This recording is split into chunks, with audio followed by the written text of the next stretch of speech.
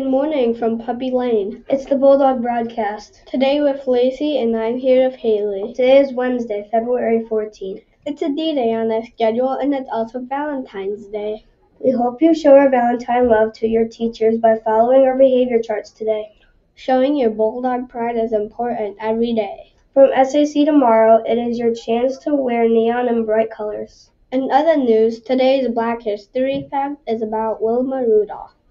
She was an American sprinter who overcame childhood polio and went on to become a world record holding Olympic champion. Her biography is on display in the library. We hope you enjoyed our broadcast today.